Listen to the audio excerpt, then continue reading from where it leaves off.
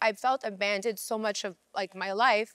And then in that moment when when Lenny and I when I discovered these messages and I confronted him, he told me he didn't love me. This was eight years ago, and I fell mm. to the floor. Oh my it was one of the hardest things Why didn't that I've ever heard Wow. because this man is my life. Oh my you know, God, for I I don't really have a relationship with my family. He is my family. He was my everything. I did not have kids with him at that point. Oh. We were working on the kids and it wasn't happening. That was really, you know, really difficult for me and for him to look me in the eye and tell me he doesn't love me was one of the hardest things for me.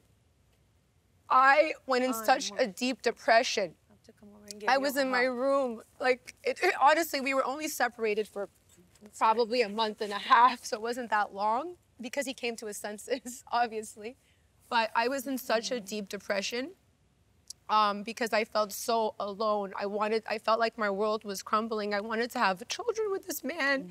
And to hear these words, I felt so unloved. I didn't feel like I had anybody. I had Lea Black actually. She was Oh, god. no, she was. She was one of the people that was there for me that I You could don't want call. that. No, but she was there for me Right. anytime Yeah, I needed of to course, call. that's fine. Yeah. She was the, one of the people that gave me advice, amazing advice that really helped me and would have helped me if we were to get a divorce. Right. She You was- called the right person. right. Yeah. She's the right person. She was ready. Um, for you.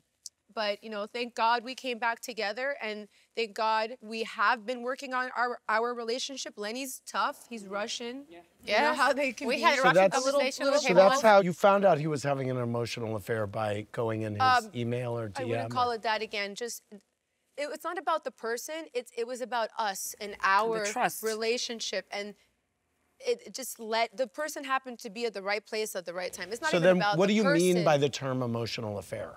It's just a term I use to describe what was happening. It was what was happening? Um, he was talking to somebody after we decided we were going to separate. Oh, you went that far? Yeah, he told me it's over. I want a divorce. This is it. You're not taking this seriously.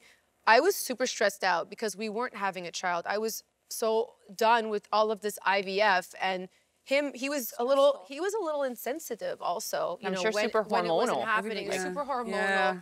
um I was stressed out and I didn't want to The hormones try make again. I needed crazy. a break I from all of the Yeah. trying Yeah. and the IVF So and hard. the disappointment and I was probably like self-soothing with alcohol, going out with my friends, staying out late, whatever. The term emotional affair generated quite a few reactions Mm-hmm. on social media. Uh, Aaron Lycan posted, Lisa, be honest, was it just an emotional affair? Bill in LA said, emotional affair, my ass, call it what it was. Cheating. Yes. It, Um, it, there, there was no sex involved. There was no. Like, how did, did you have this conversation kn- with I him? know this because I saw every text message. Was of the what went intention down, there? And I don't want to give this right. too much energy Oxygen. and life, Right. okay? Yeah. But just know that I know 100% that, at least with them, who knows, maybe there's others that I don't know about, but with Oh, them, there was no intimacy. Okay. Guerdy, what did you think when you saw those scenes? It was it was really hard to watch. It was cringing to be honest. And Yeah, you it was and You, cringy you can't for take me. away the faces that he makes, and it's kind of like you know. So for me, it's kind of like you know. You have to face the fact that you have to work on your relationship, and we all do.